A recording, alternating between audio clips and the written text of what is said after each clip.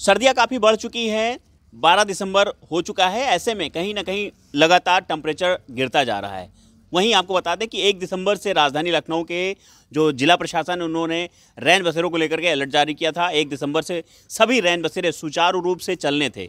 लेकिन हालात आपको दिखा दें कि जो प्रशासन के जो दावे हों, वो कितने खोखले साबित होते हैं। इस वक्त राजधानी लखनऊ के मोहन लालगंज में है और ये नगर पंचायत का रैन बसेरा है, जो कि परमानेंट रैन रैन बसेरा है, जिसको अभी तक खुल जाना चाहिए था, लेकिन यहाँ देख रहे हैं कि ताला पड़ा हुआ है और आसपास बंदरों का काफ़ी आतंक है। साफ़ सफ़ाई की व्यवस्था आपको दिखाना चाहेंगे, देख सकते हैं किस तरह से यहाँ पर गंदगी है और भी जो गंदगी उठाने वाली ट्राली है, वो भी यहाँ पर खड़ी हुई दिख जाएगी आपको। लाइट भी नहीं है यहाँ पर, आप देख सकते हैं कि जो ट्राली है, वो भी अंदर ही खड़ी हुई है। साथ ही साथ जो आ, मिनी जेसीबी मशीन है उसको भी अंदर ही खड़ा रखा गया है। यहाँ तक जो आगंतुक आते हैं जिन जो रैन बसेरे की तलाश में यहाँ तक लोग पहुँचते हैं दूर दूर से आते हैं उनको कहीं ना कहीं सफ़र करना पड़ रहा है। कुछ लोग ऐसे ही यहाँ पर पहुँचे हुए उनसे बात करते हैं। क्या नाम है आपका? इनोवेटर गोमती प्रसाद कनौजिया अच्छा गोमती जी कहाँ से आए हैं आप? मैं बस्ती से आया हूँ। अच्छा तो यहाँ पर किस वजह से आप पहुँचे मैं बेटी का एग्ज़ाम दिलवाने के लिए आया हूँ। कल बेटी का एग्ज़ाम है। हाँ हाँ। तो यहाँ पर किसने बताया इसके लिए?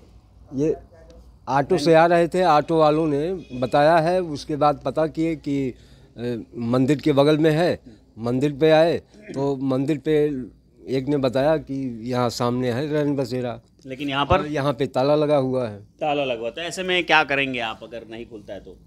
अब नहीं खुलता है तो किसी तरह से तो रात गुजारनी है क्योंकि बेटी का एग्ज़ाम है सुबह। बिल्कुल मैं दिखाना चाहूँगा उनकी बेटी भी साथ में आई हुई है। किस चीज़ का एग्ज़ाम है आपका? यूजीसी नेट का पेपर है मेरा। नेट का पेपर जी। है। तो ऐसे में अगर रैन बसेरा नहीं खुलता तो क्या करेंगे आप लोग? क्या करेंगे? वही है कि स्ट्रेस में पेपर देने जाएँगे सुबह रात भर जग के कहीं कैसे रात काटेंगे आप लोग? क्योंकि यहाँ तो होटल भी नहीं है। सड़क के किनारे ही काटना पड़ेगा और क्या कर सकते हैं? परेशान मत होइए। आप समझ सकते हैं एक दर्द कि रैन बसेरे की तलाश में यहाँ तक पहुँचे और रैन बसेरे पर ताला मिला।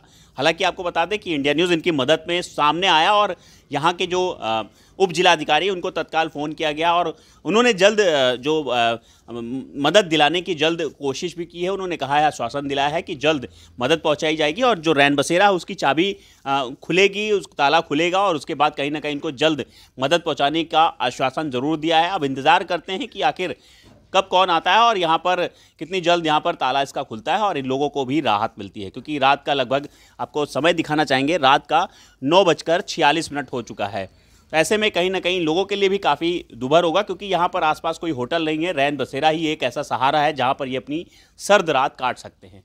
देखने वाली बात है कि कितनी जल्द इनको मदद मिल पाती है। लखनऊ से इंडिया न्यूज़ के लिए जय शुक्ला। जाओ तुम तो घर है